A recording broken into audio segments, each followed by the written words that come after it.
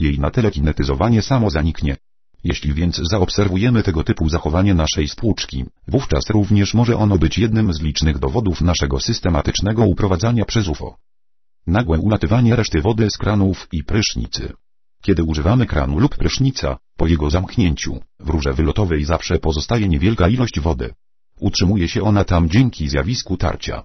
W normalnych przypadkach woda ta pozostaje w owej rurze wylotowej aż jest z niej wypchnięta przez następną wodę płynącą kiedy ponownie otworzymy ten sam kran, lub aż z niej wolno nie wykapie kropla po kropli. Jeśli jednak ów wylot kranu z utrzymującą się w nim resztką wody nagle poddany zostanie działaniu potężnego pola telekinetycznego spędnika niewidzialnego UFO, wówczas pole to nadaje owej resztce wody atrybutu nadśliskości. W wyniku tego owa woda nie utrzymuje się już dłużej w kranie i niespodziewanie z niego wypływa. Oczywiście taki niespodziewany upływ strumienia wody z zamkniętego kranu zwykle jest na tyle głośny, że go słyszymy. Jeśli następuje one w chwili, kiedy dany kran nie był używany przez wiele poprzednich godzin, zwykle jest on dowodem, że kran ten właśnie znalazł się na wylocie z pędnika niewidzialnego UFO i poddawany jest działaniu pola telekinetycznego tego wehikułu. Szczególnie wymowne są takie nagłe upływy wody z zamkniętych kranów, jeśli następują one w chwili, kiedy z jakichś powodów właśnie zmieniamy pokój, w którym aktualnie przebywamy, lub jeśli właśnie przemieścimy się w inny koniec dużego pokoju. Wówczas bowiem one oznaczają, że niewidzialny wehikuł UFO właśnie nas obserwuje i podąża naszymi śladami. Po zmianie zaś miejsca swego zawisu, w nowym położeniu któryś z jego pędników telekinetycznych nagle zaczął bezpośrednio oddziaływać na ołów kran. Stawanie włosów dęba. Jednym z bardziej interesujących następstw nadśliskości jest stawanie dęba włosów na ludzkich głowach, o czym już pisałem w podrozdziale U3.4. Ludzie obu płci, których włosy zostały w nocy natelekinetyzowane z powodu ich uprowadzeń do UFO, potem przez dłuższy czas nie są w stanie przyczesać swoich włosów. Stąd ich włosy stoją dęba formując charakterystyczne kogutki dobrze każdemu znane. 4. Zacinanie się mechanizmów tarciowych. Pole telekinetyczne wytwarzane przez napęd niewidzialnego UFO wlatującego do naszego domu posiada także zdolność do powodowania zacinania wszelkich mechanizmów, jakich właściwe działanie opiera się na zjawisku tarcia. W tym miejscu należy jednak podkreślić, że zacinanie się oraz wszelkie inne pozorne popsucia spowodowane przez nasycenie naszych mechanizmów telekinetycznym polem UFO zawsze zanika samoczynnie po kilku tygodniach, ponieważ pole telekinetyczne jakie je wywołuje szybko zanika, rozmagnesowuje się z upływem czasu. Podatne na ten rodzaj samoustępującego zacinania się są wszelkie mechanizmy, których poprawne działanie zależy od określonej wartości współczynnika tarcia, a więc mechanizmy, które zawierają dźwignie, krzywki, kliny, ślimaki, koła zębate, zapadki, sprężyny i tym podobne wygląda też na to, że nie ma przy tym znaczenia czy wykonane są one z podatnej na pole magnetyczne stali, z metali nieferromagnetycznych, czy też z tworzyw sztucznych. Do mechanizmów najczęściej padających ofiarą takiego zacinania należą zamki w drzwiach, szczególnie owe bardzo skomplikowane, na przykład ostatnio wprowadzane do grzybków, których klucz wkłada się do klamki, która na dodatek od strony mieszkania posiada przycisk zatrzasku i zwalniacza zamknięcia. Wszelkie zegary, w których jakiś mechanizm obraca wskazówkami, można je rozpoznać po tym, że wytwarzają one dźwięk tykania. Do zacinających się zegarów należą więc również elektroniczne zegary naścienne na baterie, ale ze wskazówkami, u których obrót wskazówek też odbywa się za pośrednictwem koła zębatego i zapadki, programatory w pralkach automatycznych, kompresorowe, agregaty chłodzące lodówek, mechaniczne maszyny do pisania, klawiatury komputerów oraz wiele innych. Rozważałem teoretycznie jaka może być zasada tego samoustępującego zacinania się, a także dlaczego dotyka ono wszelkie materiały, nie zaś jedynie ferromagnetyki. W rezultacie tych rozważań doszedłem do wniosku, że polega ono na krótkotrwałym natelekinetyzowaniu danego mechanizmu, patrz pod rozdziały H8.1 i V9.1. Natelekinetyzowanie powoduje wszakże, że objęty nim mechanizm zamiast działać w kierunku linii najmniejszego oporu, dla której został oryginalnie zaprojektowany, nagle działa w kierunku linii największego oporu, odmawiając w ten sposób posłuszeństwa. Patrz cechy natelekinetyzowanych obiektów opisane w podrozdziałach A8.1, NB1 i NB4. Pole telekinetyczne oddziaływuje też na wszelkie materiały, nie zaś jedynie na ferromagnetyki. Ponadto z upływem czasu jego wartość samoczynnie spada zgodnie z krzywą połowicznego zaniku, także i w ferromagnetykach. To powoduje, że w kilka tygodni po natelekinetyzowaniu dane zacięcie samo ustępuje. Oczywiście jeśli w międzyczasie UFO nie przyleci ponownie i jeszcze raz nie wznowi natelekinetyzowania. Warto przy tym zauważyć, że zgodnie z moimi dotychczasowymi badaniami, owo samoustępowanie jest główną cechą identyfikacyjną jaka pozwala na łatwe odróżnienie kłopotów technicznych spowodowanych przez UFO, od kłopotów pochodzących z innych źródeł, np. z zużycia i wyrobienia się współpracujących ze sobą części danego mechanizmu. Stąd jeśli ktoś odnotuje w swoim domu jakikolwiek rodzaj kłopotu o naturze technicznej, który sam się pojawi, zaś po upływie kilku tygodni czasu sam się naprawi, jest to nieomylnym dowodem, że kłopot ten spowodowany został przez niewidzialne UFO jakie przybyło aby go uprowadzić. Niestety, powyższa reguła nie działa w kierunku odwrotnym. Przykładowo fakt, że jakiś kłopot techniczny jest trwały i nie chce sam ustąpić, wcale nie jest dowodem, że nie mógł on być spowodowany przez UFO. Wszakże UFO znane są też z powodowania trwałych zniszczeń i sabotaży, szczególnie typu przepalenia elektryczne, powodowanie przyspieszonego zużycia oraz zmiana oryginalnych cech materiałowych, patrz pod rozdział VB4.4.1. Aby jakiś mechanizm się zaciął, musi on się znaleźć przez dłuższą chwilę albo w obrębie pędnika telekinetycznego, albo też na drodze opuszczających ten pędnik obwodów magnetycznych, Oczywiście, dane UFO musi pracować wówczas w trybie migotania telekinetycznego. Patrz opisy tego migotania zawarte w podrozdziale L2. Jego pędniki mogą więc przenikać przez ściany i przez dany mechanizm. To z kolei powoduje, że z położenia owych zaciętych mechanizmów, a także z położenia wszelkich innych mechanizmów reagujących na bezpośrednią bliskość pędników UFO, w odniesieniu do łóżka danej uprowadzanej osoby, dociekliwy badacz UFO może wywnioskować z którego kierunku UFO nadlatuje, jak się ustawia w stosunku do łóżka uprowadzanego, gdzie znajdują się jego pędniki, jakiego typu i wymiarów jest to UFO, patrz tablica F1 i tym podobne. Doskonały przykład samoustępującego zacięcia się złożonego mechanizmu opisała jedna z osób udostępniających moje monografie za pośrednictwem internetu. Oczywiście, jak czytelnik zapewne się już domyśla na podstawie treści podrozdziału VB4.7, za odwagę tego udostępniania karana jest ona doświadczaniem najróżniejszych kłopotów. Czasami nawet bardzo dziwnych.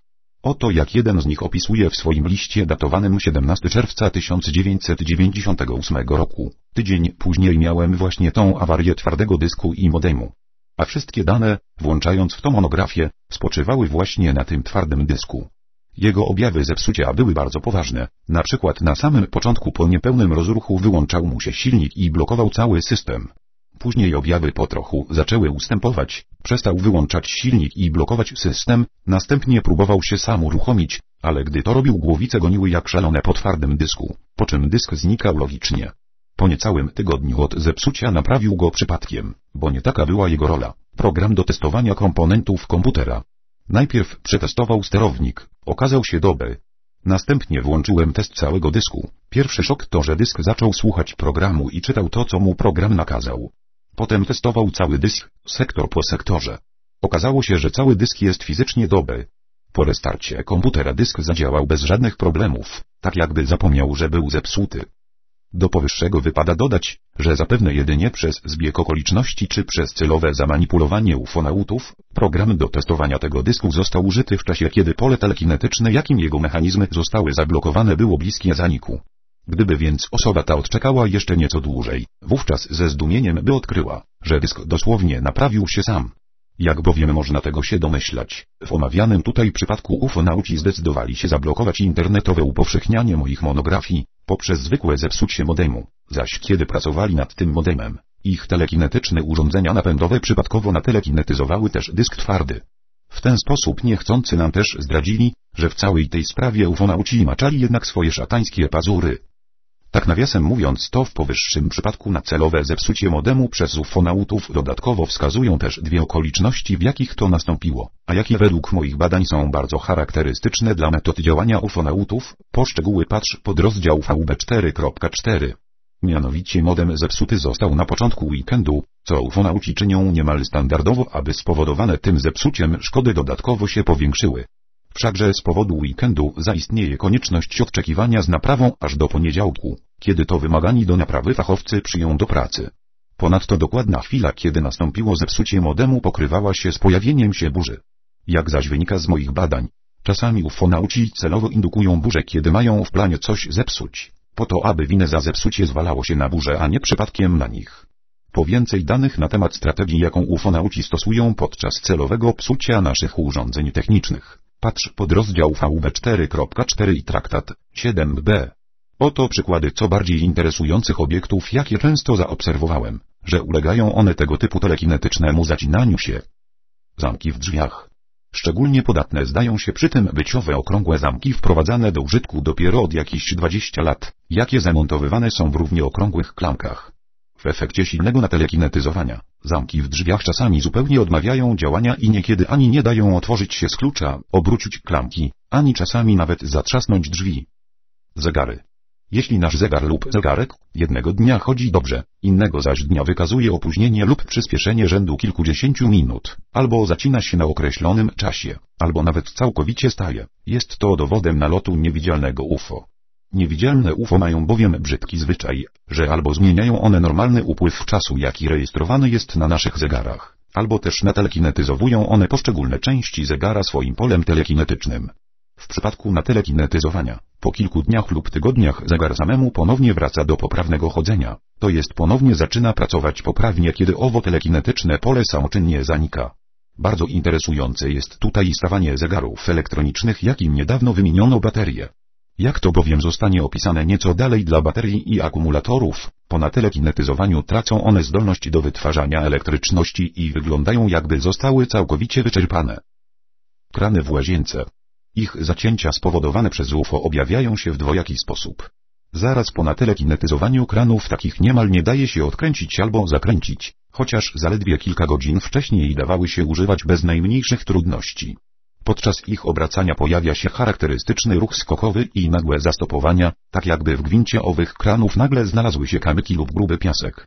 Ów skokowy ruch zakręcający lub odkręcający doskonale znają te osoby, które kiedyś próbowały zakręcać naoliwioną nakrętkę, jaka przypadkowo upadła im w piasek i jest pełna poprzyklejanych do jej gwintu ziarenek piasku.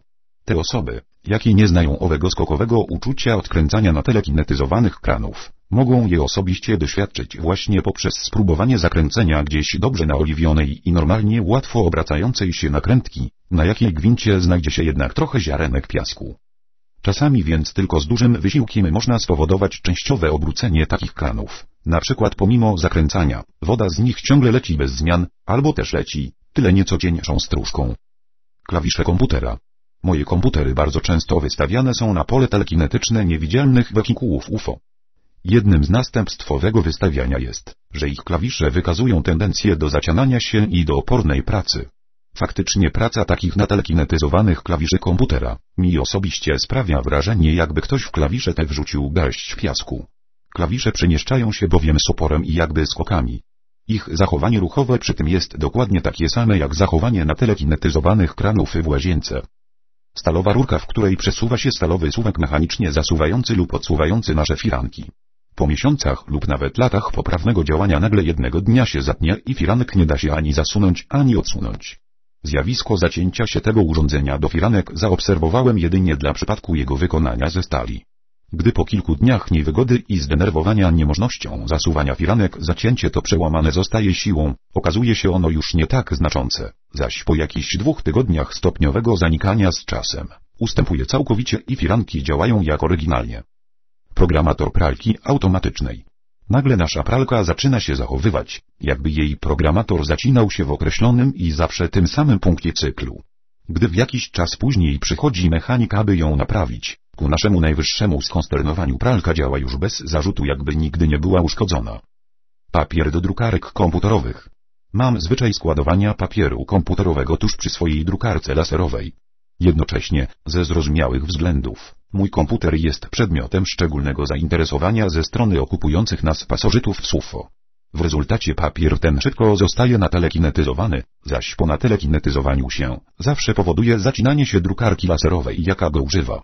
Jeśli więc u kogoś jednego dnia dany papier jest bez problemów akceptowany przez drukarkę komputerową, zaś drugiego dnia drukarka się na nim zacina i trzeba używać innego papieru, również jest to dowodem pasożytniczego pobytu w naszym mieszkaniu.